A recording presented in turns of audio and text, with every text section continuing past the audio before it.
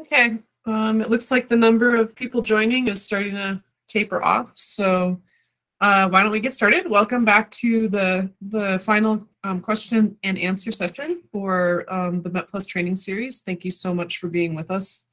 This, uh, in essence, marks the, the 20th session that we've had since, um, you know, the, the start of this back in no, uh, late November, early December.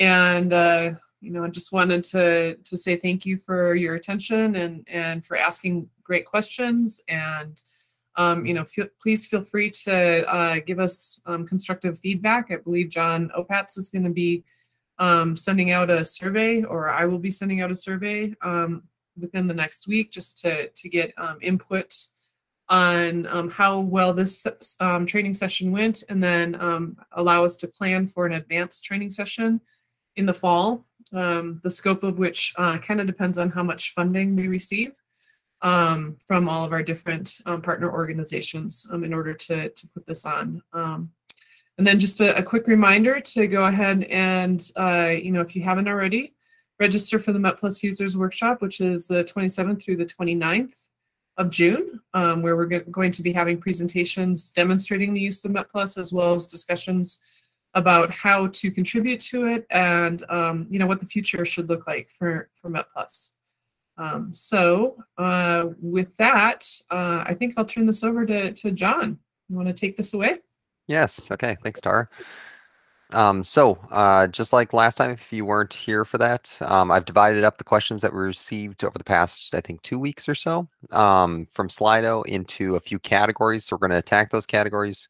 Uh, if uh, if you don't see your question, um, you know, in the first place, even if you were first in Slido, um, don't worry, we will get to you. It's just this grouping kind of made sense to us. Um, and then again, for everybody who is on the Met Plus team, if there is anything that's needs to be added um, or anything that needs to be uh, corrected, especially in what I'm saying, um, by all means, feel free to jump in and uh, provide some better context and better details on these things. Um, but for the time being, let's start with the first general question. Um, so that one was, I've noticed there's not a lot of examples of using regrid data plane. Um, if I wanted to run that tool with Python wrappers, how would I go about doing that? So uh, I want to bring it to um, the asker's uh, attention that there are actually a few examples of running the regrid data plane tool, but they're in the Met Plus side um, especially with the Python wrappers. Um, so if we go to regrid data plane, I'll pop that up. Um, you can see that uh, the 5.1.22 is filled with regrid data plane, and one of them is using Python embedding. Um, it gives you a basic rundown of scientific objective. The data sets are usually simplified, especially when you're just running a, a basic MET tool wrapper, um, but that's to give you a better understanding of how to run this yourself. Um, and same with the Python script that's used to ingest this. You can see that the read ASCII NumPy um, is what we're going to be using for the OBS um, field. And then it does um, down here allow you to click on that. But because this is in the MET repository, you'll have to go over there to read the script.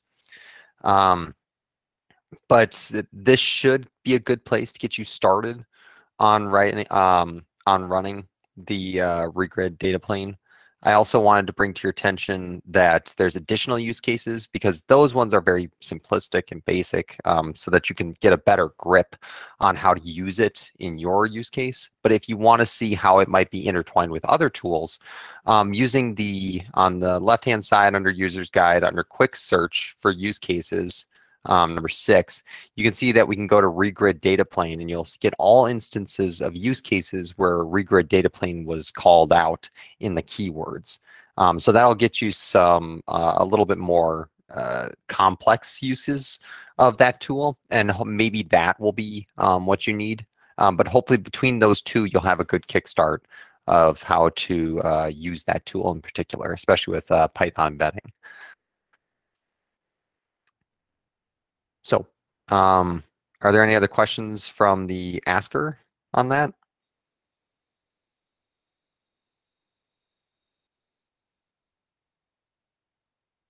Okay. Go on to the next one. Um, what are the differences between Ensemble Stat and Genens Prod? Ensemble Stat has been used to get the mean from members. Should Genens Prod now be used instead? Um, and to be honest, this is one of the questions that we get fairly frequently ever since the introduction or ever since we introduced the idea of uh, splitting Ensemble Stat into two separate tools. Um, that's totally fine and that's understandable and it's good that we have some curiosity on this. And really, ultimately, the idea is this is a way to help clarify what this tool does beforehand. Um, it seemed like Ensemble Stat was trying to do two very separate and distinct things, um, but it was created in such a way that it kind of had to. Um, so it seemed like the right time to finally split them up. Um, and so I know that uh, John HG, you added some stuff at the end. I'll give you a moment to speak on that.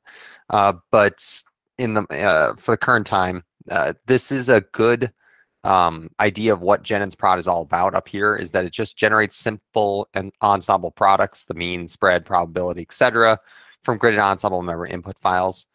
So it's this is just going to be where you're getting the simple ensemble products. If you jump over to ensemble stat, you're going to get things that are more created simple ensemble forecasts. And again, it's it's a small change, um, but it is a very important one and if we go back to the Q&A back here, I kind of grabbed a little bit of what John G has said on this before, that um, Genens Prod does the ensemble post-processing and product generation without any observation data. So you'll only be working with the ONS dictionary, the ENS dictionary of the config file. You won't have your forecast. You won't have observational data. Um, but you do write gridded netcdf output files that contain your ensemble products like your mean and your spread and stuff like that. And you can also still process CLIMO mean and standard deviation files. And that's kind of important because some of the um, capabilities that have been included in the latest generation of MET for Genens Prod that you can now calculate um, your uh, uh, normalization um, for your ensemble, and those need to have climo mean and standard deviation. And on the flip side of that, ensemble stat continues to verify ensemble members versus a point and or gridded observations. You can process your forecast and observation dictionary, dictionaries just like all your other uh, statistical observation or statistical analysis tools um, of the config file. Uh, it writes out the stat and text output files for computed statistics. And you can also get a gridded netcdf output file for fields derived on the fly, um, which I think that was done in one of the most recent, again, releases of MET. And then uh, I just added the note here. So as you may have seen, especially in that uh, header for Genens prod, that so if you're calculating ensemble mean, you should probably be using Genens prod in the future. And then John G, did you want to speak to your note on um, removing capabilities from ensemble stat? Sure. Um, yeah, so I wanted to point out that um, since MET version 10.1 was a minor release, we didn't want to remove functionality from 10.1. So we left Ensemble Stat largely as is in 10.1, um, including the ensemble, the ENS ensemble dictionary in the Ensemble Stat config file. However, we're going to be removing that support for that in version 11.0, which is the next major release we're working towards. Um, so if you uh, are currently doing ensemble post processing using ensemble stat in 10.1, you'll need to switch over to doing it via Genens Prod for 11.0. And when you do that, uh, when you run with 10.1 ensemble stat, if the ensemble dictionary is non-empty, then you do get a warning message telling you exactly that, that in 11.0, that support will be removed. So I just wanted to uh, make that clear. Yep, and that's an excellent point, John. Thanks. Um, are there any other questions on this topic? Or if the asker has any more clarifying questions they'd like to ask?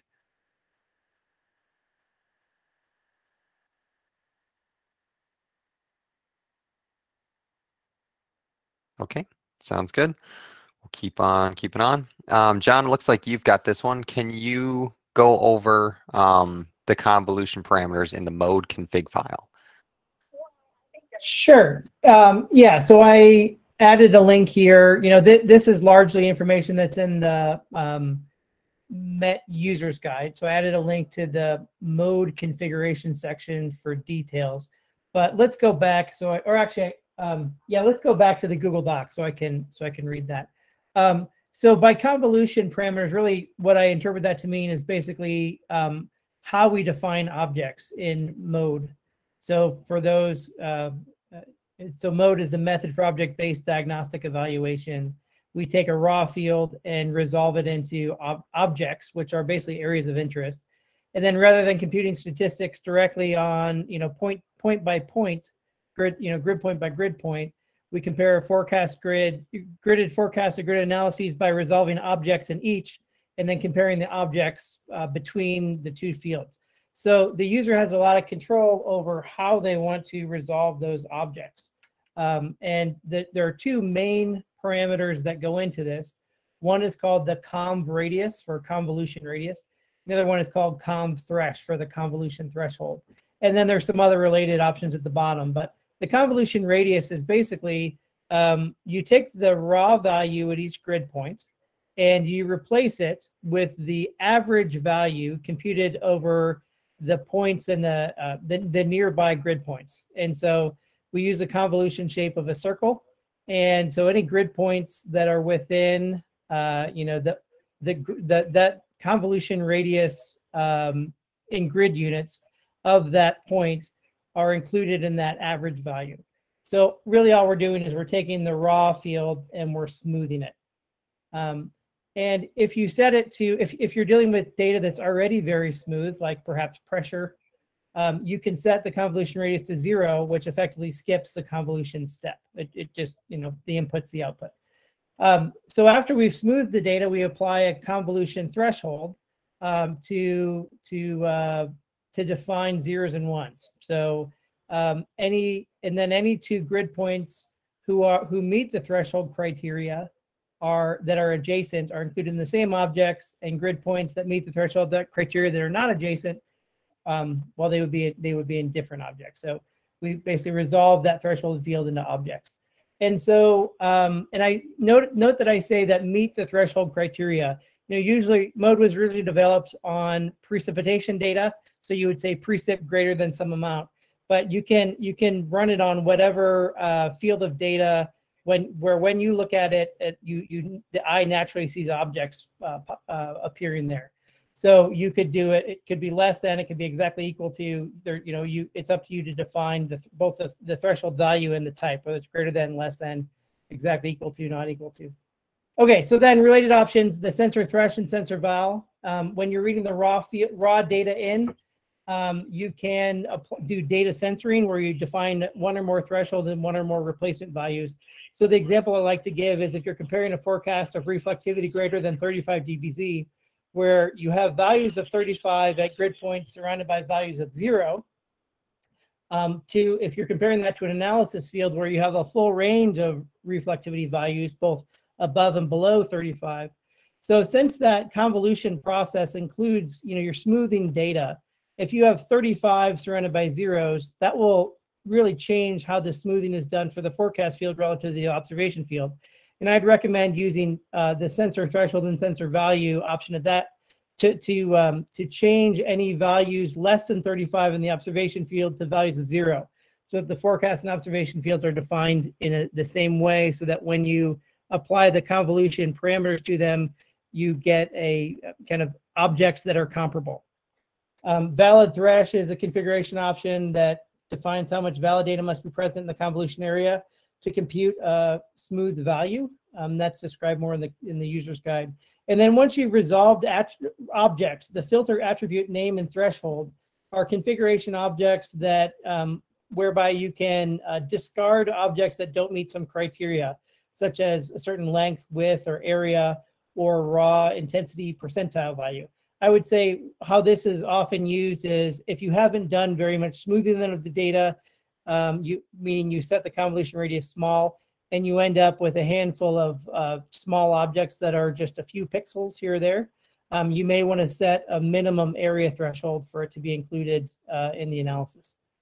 Um, there's a merge thresh, a merge flag. So the merge threshold option is if you basically have, uh, th these can be used to apply double thresholding logic, merging logic. So if two objects are distinct at a higher threshold, but are part of the same object at a lower threshold, this logic can merge them together into the same cluster object. So um, yeah, I hopefully that addresses the the the question about um, convolution parameters. I'd refer you to the um, user's guide again, that that mode config section, and then um, also you, are welcome to follow up with any other questions via um, GitHub discussions. Thank you, thank you for covering all that. I, I know it's a lot. Um, I guess uh, the the interest function, I, I haven't been able to find any information on these, like the ratio if and all that. Is that is that basically changing how the convolution views data farther out from the radius, farther out from the center, or I'm I'm confused on the those parts of the interest interest function. Ah, okay. Yeah. So um, what Wesley's talking about is once we have objects defined in the forecast and observation fields, we compare them between fields to see how close they are. Um, and the way we do that is ultimately by computing a total interest value for each pair. So if you have five forecast objects and three observation objects, we would compute up to five times three or 15 object to object comparisons. And for each comparison, we get a total interest value between zero and one. And this is where the fuzzy logic comes in in mode. So basically you define object pair object attributes and um, and you assign weights and interest maps to decide how um, how much each component can matter. So one example of them, it, one example of a pair of, of one is the area ratio, where you look at the the ratio of the forecast object area to the observation object area, and then you say if that if that ratio is close to one then these thing these objects are more similar. And so um, there is something called the ratio interest function or, or um, so so there's both interest functions and confidence maps and what we're talking about here is the interest functions and so basically those those piecewise linear functions in the config file um, for each for each pair attribute like area ratio, they define what good is. So an area ratio of one is a good match, whereas centroid distance, basically the distance between the, the centers of mass of the two objects, a, a, the centroid distance of zero is a good match. So that's that's how the we we we take the uh, the pairwise attribute as input to the interest function, and then it hands us back the value between zero and one that tells us how well these things compare. And, and then the result, the total interest function is a weighted value or a, a weighted average of the interests of each of the pairwise components. Um, but yeah, I can, I think perhaps looking at a, um, a pres, uh, you know, Randy Bullock's presentation about mode or um, that, that might be useful or reading more in, in the user's guide. But again, I can, Wes, I can clarify any other questions via email or on GitHub discussions. Uh, Wes actually just posted an example of what he's asking about into um, the chat. I don't know if you want to take a quick look at that. Yeah, so so this is the definition of a piecewise linear function. So um, x, y of zero, and then is um, zero, zero is the first point, the last point is 1, 1. And then there is a shoulder where um, where defined by corner and 1.0. And I don't know what corner is defined as. It's probably 0.7 or 0.8 or something. Um, so this is just, you know, piecewise linear function where um, we pass as input the um, area ratio and we get out the interest that for that area ratio for that pair. Uh, you know, yeah, actually, here, here's what I'll recommend.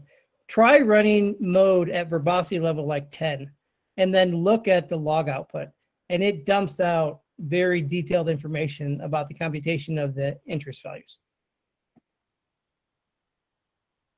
I will do that. I didn't know the verbosity went that high. I'll, I'll start experimenting. Thanks for going. I know it took up a lot of time. Thanks for going in depth on this. I appreciate it. Sure. I, I and um, Wes, I, I just wanted to point out to you that um, you know you pulled out ratio if, um, which is on line 156 of the mode config file. Um, if you look right above that on line 155, it says corner equals 0.8. So um, in essence, the config file is trying to demonstrate that you can have um, some additional flexibility and configuration in it. So um, the, the value of corner, which is 0.8, is then um, plugged into the ratio if piecewise um, function um, where the word corner comes in. So it's kind of like an algebra equation in some ways. so I, I guess is it is it saying that values close to the center are more are weighted less heavily than values close to the edge, or I, I just don't conceptually I, I don't understand what it's like. What it's so in this case, ratio you an optimal value of ratio is one. So what it's saying is that um, if you're looking at a ratio like an area ratio or something like that, if it's somewhere between 0.8 and 1, then we're really interested in um, in those pairs. But if the, the ratio between the, the two pairs is, you know, like at 0.2, then we're not interested at all. So anything above 0.8, you want anything below 0.8, you don't. Correct. Well, it's it isn't it isn't that below 0.8 you don't want it. If it's if the ratio is 0.7, then yeah. so these are three points on an XY plane, 0, 0, 0.81, and 1, 1, right? And so that those this is the definition of a piecewise linear function. And so anything, if, if it's a value of 0.7, then the interest value is going to end up being like 0.9 or something. So whereas if the ratio is near zero, then the interest, the corresponding interest value will be near zero as well. And so let me let me clarify since we're going into depth on this one. The area ratio I mentioned, it's the forecast area divided by the observation area er, area. That isn't totally correct. It's the maximum or it's the minimum of those two divided by the maximum of those two. And so that gives us, that forces us to have a, a ratio between zero and one. And that's why this interest function does not need to go greater than one because we're the way we're defining the area ratio as the min divided by the max, we're always going to get a value between zero and one. So if I'm expecting a, you know, a kind of a decent spread in, you know, forecast observation area, I should adjust my corner down to allow for the mode to say that, okay, well, maybe they're not all that similar, but maybe that's not all that bad. You know, you, you could do that. I, I think it would be, it, it would be just simpler to change the weight for the area ratio. So right now, you know, each one of these pairwise uh, object attributes has a weight. And if you set the weight of the area ratio to zero, then it won't be included in the computation of the interest or the total interest value. I, so in okay. general, I would say changing the weights is, is easier and uh, I think less will cause less confusion in the long run. Okay there's just a lot of nuance in it. I, I thank you for going into it in depth. Appreciate it. Sure thing. Yeah, I mean, and it's it's definitely one of the benefits of mode. Uh, its configurability, and it's also one of the curses.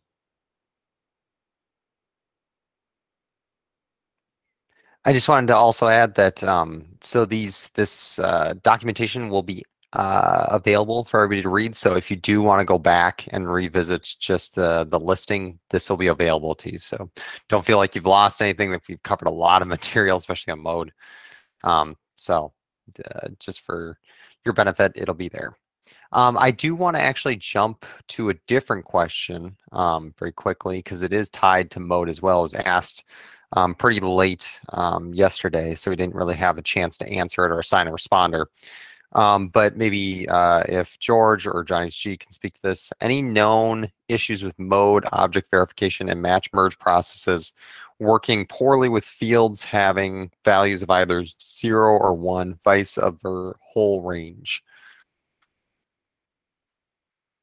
Um,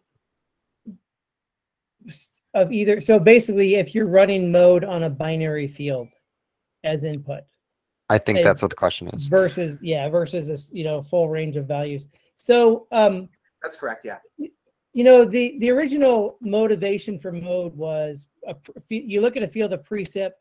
Um, uh, this is what Randy Bullock always says, and he he took off his glasses and he saw everything was blurry. And when he saw when everything was blurry, he saw kind of areas of interest, and so uh, and that you know kind of led to the led to the development of mode. So um, I would say it really just depends on the the um, the data. So if you have a you know field of temperature where there's no bullseyes and it's all pretty uh, relatively smooth, and you take your glasses off and objects don't jump out at you, then it probably isn't a good application of mode. Um, whereas if you, you know, if you have areas of high and low pressure, um, where there are bullseyes and features really jump out at you, then it would be a good application of mode. As far as the uh, binary field, you can do, still use it um, if the binary field has is already nicely defined into areas of interest. Then you might choose to use a convolution radius of zero, which would basically pass through the binary field to the object definition step. If you want to smooth the zeros and ones, you can, and um, by defining a convolution radius greater than zero, and that will give you, after you do the convolution process, you'll have values between zero and one. So some of those ones will have been averaged out or averaged down lower than their, their, their binary value of one. And then it's up to you to define the convolution threshold. Ultimately, it's really up to you to decide what is the feature in the data, what is the scale and the feature of this feature of the data that you're trying to capture and study. Um, so um, really it, it can work fine on binary inputs as long as the data lends itself well to an object-based approach approach in, uh, from the beginning. Thank you very much. Likewise, thanks, John.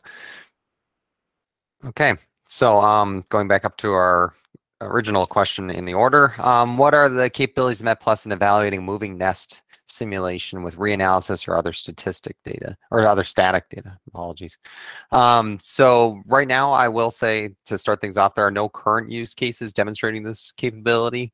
Um, so this is uh, another call for we're looking for contributions from users. So if you do have a use case that you feel is good enough that demonstrates this in the MetPlus um, uh, realm, um, by all means, please get in touch with us and we can work with you on getting this submitted and checked out and potentially getting it into the repo because um, ultimately this is a tool for you. Um, so if if you think it's useful, if you think it's set, that would be great to have.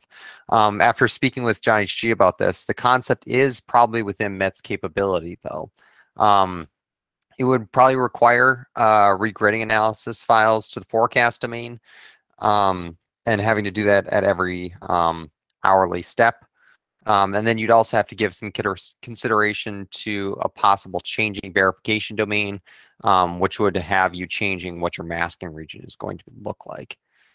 Um, and then really the most important step is just to make sure that uh, the file search and acceptance of by MetPlus is there the corresponding tools. So you always want to make sure that whatever tool you're reading in or whatever file you're reading in, no matter where it's coming from, starts small, like a, a plot data plane, um, or even a regrid, and make sure that your file can be read in. And then if it can be searched and read in by a simple tool like that, it can probably be read in and used in this way in like a grid stat or point stat. I do see that Tara has her hand up. Um, yeah, so I, I just wanted to point out that um, the moving uh, nest um, evaluation is analogous to other um, types of looking at areas of interest um, uh, evaluations that uh, MetPlus has been used for, or at least Met has been used for in the past. Um, what comes to mind is the hazardous weather test bed, where they identify a domain of interest every day and um, you know the evaluation is performed over that domain of interest. So um, in this case, the, the nest is following a, a tropical cyclone or, or something like that. Um, for hazardous weather test but it's you know um, over a particular region of um, the United States where they, they feel that there might be severe weather. Um, so uh, we I, we have not used MetPlus in, in its current instantiation um, on HWT um, data, to the best of my knowledge, unless um, within the within some of the work at RAL for the um, high impact weather test bed um, evaluations, um, you know, if, if, they've done that. But it, it really it, it is possible to do this, and it is possible if you think of that that moving nest as a you know just a, an area of interest to uh, accumulate or aggregate those those results. So it is very doable. Sorry, didn't mean to raise my hand again. Excellent. Thanks, Tara, for jumping in and responding. Is uh, if the asker is online right now, did you have any further uh, clarifying questions?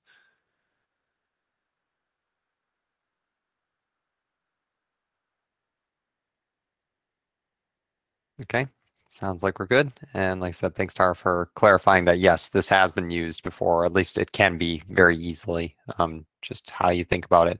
And uh, yeah, when I mentioned that if you have a contribution, especially in the TC realm, um, we are always open to those. So feel free to reach out. Um, the next group we're going to jump into is the file input. Um, so somebody received a segmentation fault error during working with GFS GRIB2 files, how to solve the problem without converting these files from GRIB2 to GRIB1. Um, so Julie answered that one, um, but she's not here today. So just I'm I'm gonna let um, the person who had um, the issue read this here, and as well as the rest of the group, if you want to. Um, but I think this boiled down to just somebody compiling MET with an incorrect flag.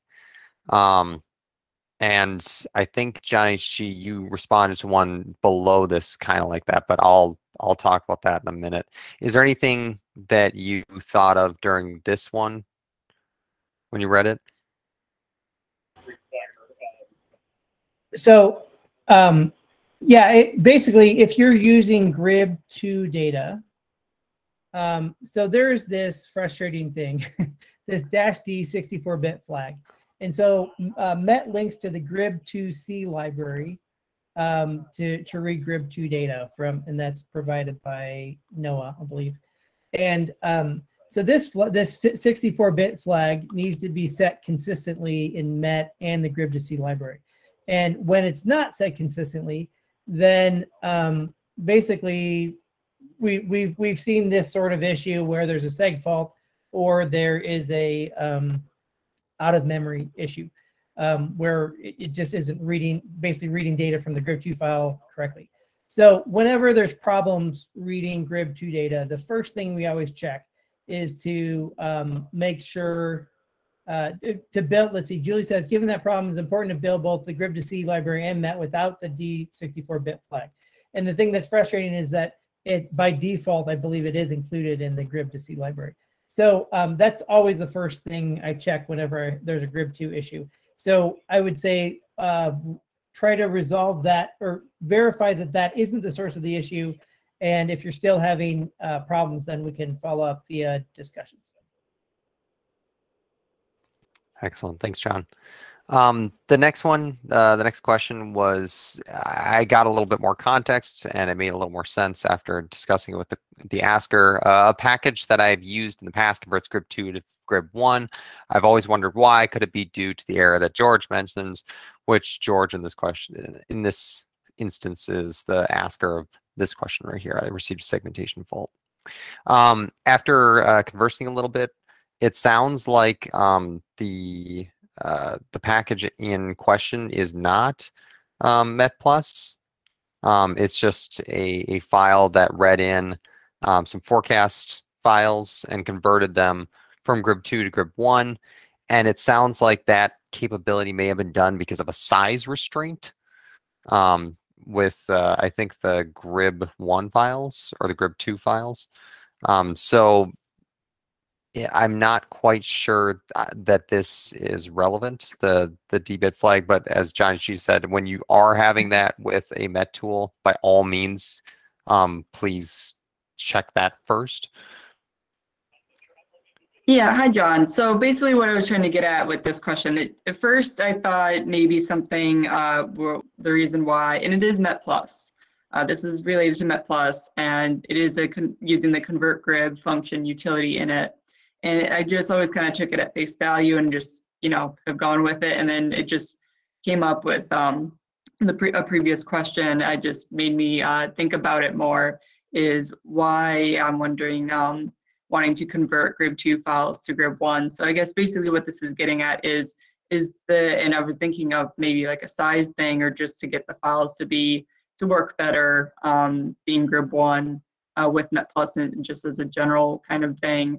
Um, so I guess the main question that I'm getting at here is, is it better to, to, to convert GRIB2 files as GRIB1 and it's a better thing to be using GRIB1 files versus GRIB2, or is there any kind of distinction like that, or is it perfectly fine if you were to say, if I would, I haven't tested this, but if you were to take out that convert grib function in the script and just leave it as grib2 files, would there be any like issues that you could foresee or would it be okay to just use grib2 files instead of converting it? I guess I'm not quite certain uh, what the differences are between grib2 and grib1. Tara, you came off mute and John, she also did. I'll let John answer, but um, if if I don't like his answer, then I'll I'll fill in. so um, Grib one is much older, um, and Grib two was intended to improve the format um, by making it a little more flexible. Um, Met can you know Met can read should be able to read both Grib one and Grib two um, just fine. And when you you know if if we run into problems with either format, then we'll fix those as bug fixes. Um, I would say the general, it's taken many years, but in general, most data, it, GRIB2 is preferred for most data sets. Um, mm-hmm. But, I, you know, that can, so that's my perspective on it. Yep. Okay. Thanks. I can I can test it myself. I can see, you know, taking out that conversion factor and just leaving the files as GRIB2 and just making sure everything works fine as is too. I can do that myself, obviously. So thanks. This is just more of kind of a clarification and just if by chance it had anything to do with the previous question. So thanks. Let me let me also point out that convert grib that which goes between what can convert between grib one and grib two and also vice versa um, is great when it works and sometimes it doesn't work uh, because if there's metadata conventions that it doesn't know about, it will bail out and, and tell you that. Um, whenever I have issues or questions about GRIB data, um, I, I often will use Panoply, which is a visualization software provided by NASA, I believe, um, to independently visualize the data, just so I can kind of as another point of reference. Um, and you can also read GRIB data into uh, with PyGRIB into into Python. So when you're you know trying to develop uh, trying to test out or figure out where, where things are going wrong, having multiple tools to process the data is often useful for debugging.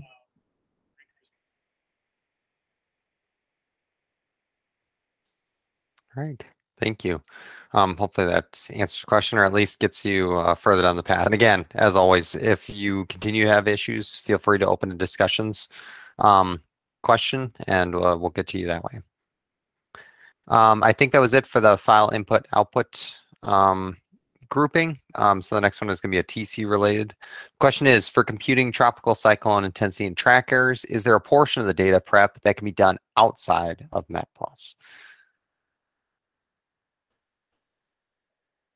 So yeah, the general workflow for um, track and intensity verification of hurricanes in Met, um, and these are done by the TC pairs tool in Met. Um, and then the results can be further filtered or summarized by the TC stat tool in. And the typical workflow is that someone will run an NWP model and generate gridded output. And that gridded output is run through a post processor, which writes GRIB1 or GRIB2 output often.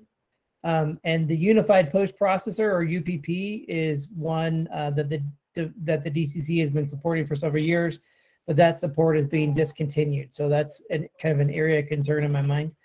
Um, anyway, once the model output is in is in GRIB format, it's often run through a Vortex tracking Vortex tracking software, such as a G, GFDL Vortex tracker, and there's a that that's also supported by the DTC.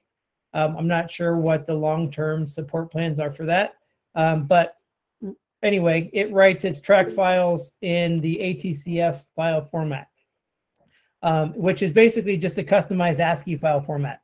And that is the input to the TC pairs tool. It reads the forecast ATCF data, which is really just at each point in time where the uh, you know the the predicted location of the storm and its intensity and radius of winds and all, all these details. Um, so that's the the forecast ATCF is often compared against um, best track data, which is a human um, analysis of the uh, of where the storms actually did occur uh, that's produced by the National Hurricane Center. Um, so that's a typical use case is you compare forecast ATCF data to NHC provided best track data.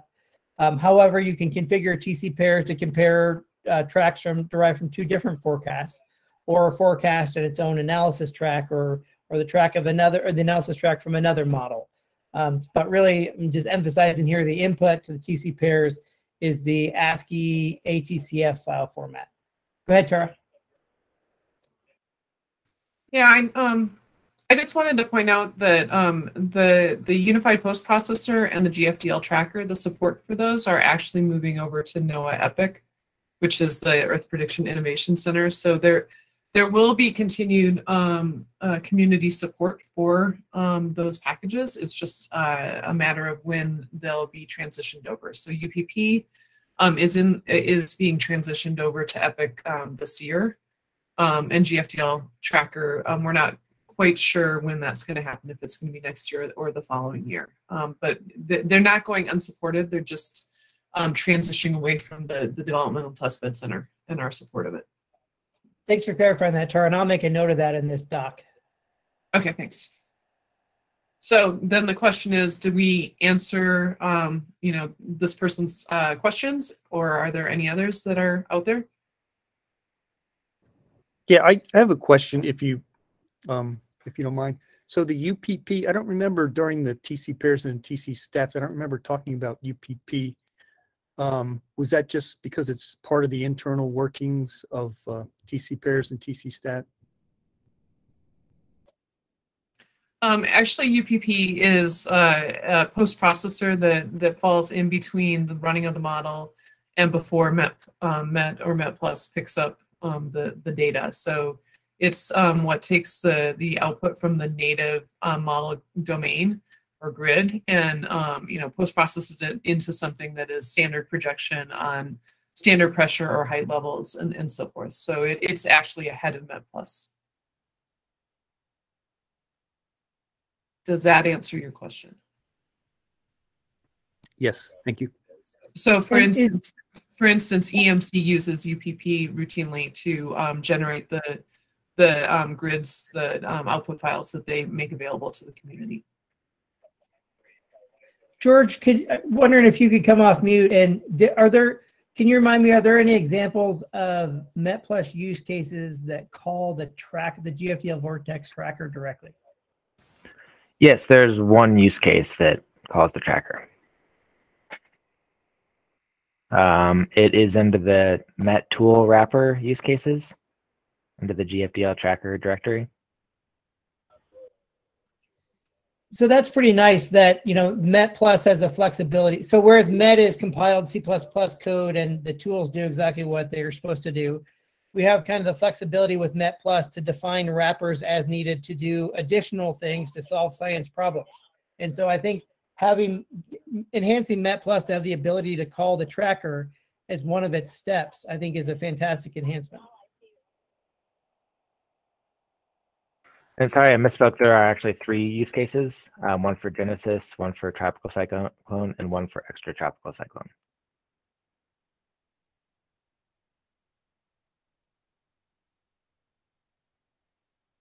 Thanks, George, for pointing that out. And yeah, super easy uh, with the documentation to be able to get there um, quickly. So um, let me actually grab this and just drop this in the chat so everybody has a copy of it. There you are. Okay, um, so with that, we'll move on to our last questions. Um, I think we only have two left. Um, and they're both pertaining to the MetViewer MetExpress. So um, the, the first question was, in order to get or install MetExpress, must the database used be the one supplied uh, by MetPlus, or could an existing post G SQL database be used instead?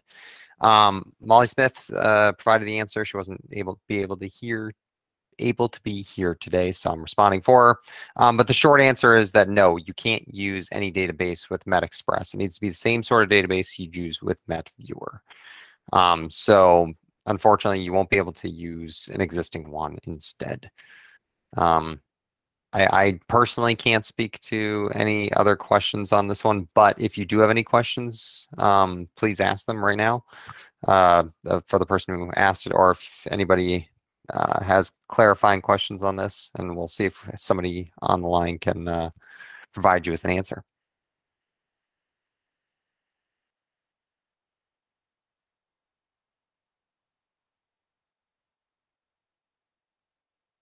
Okay, hearing none. We'll go on to the final question. Um, so the scorecard question, similar to another question, which is the uh, the one I just read. Must the database used to produce a scorecard card by the database be provided by MetPlus? Um, Johnny Shi, you've got this one. Yeah. Um, so yes, the way MetViewer uh, MetViewer um, generates scorecards by reading data from a MetPlus database. Um, I put, put a link there to the MetViewer documentation about scorecards to, to point out that there is configurability and flexibility in the statistics that are included in the scorecards and, and you know, the, the colors and symbols and that sort of thing. But yeah, the assumption is it's all uh, pulling data from a MetPlus database. Um, I wonder if Minna or Hank or Tatiana, if they're on the call, is there any other perspectives on that? Like, will scorecards be able to be generated directly from Matplotlib, or will that remain a thing that's done by MetViewer? I don't know anything about that. Uh, that's probably something we could ask Tatiana. Okay, thanks. Any other discussion about scorecards? I, I guess I will just um, uh, put a word out there that I, I, feel that it is a desirable um, capability to have scorecards be able to be generated from, uh, for instance, flat files of Met um, output and not necessarily always from a database, um, especially considering uh, operational centers such as EMC um, may need that in the future. So uh, if it's if it's not already available or in process, um, we'll be looking at an issue to, to make sure that that becomes available. But my question out to the EMC is, is that, am I interpreting that um, desire correctly?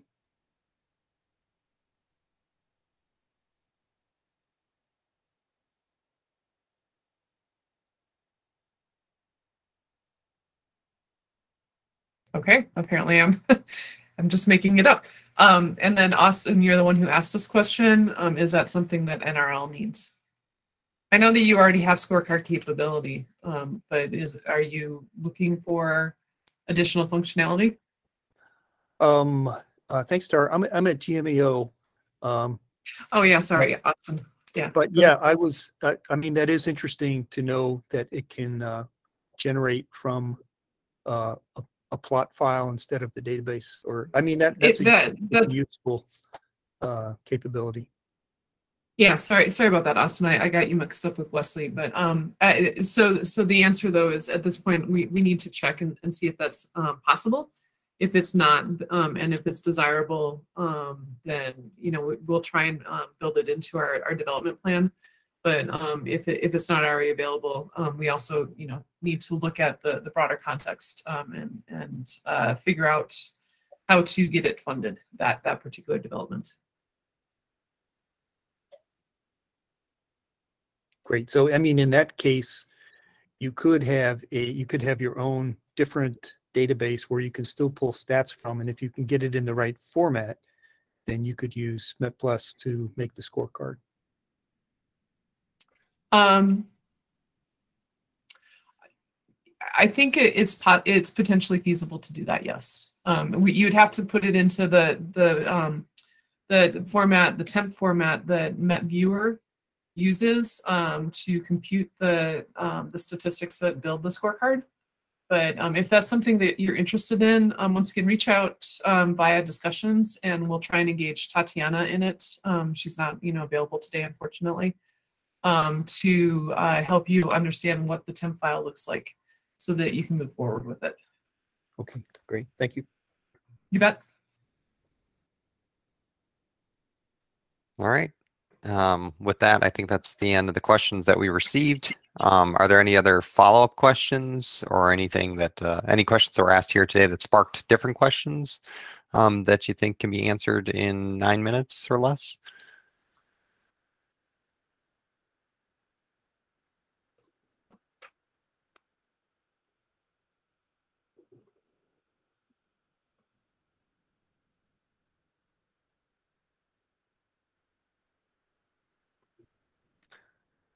Okay. Um, Tara, I think that's it for us today then.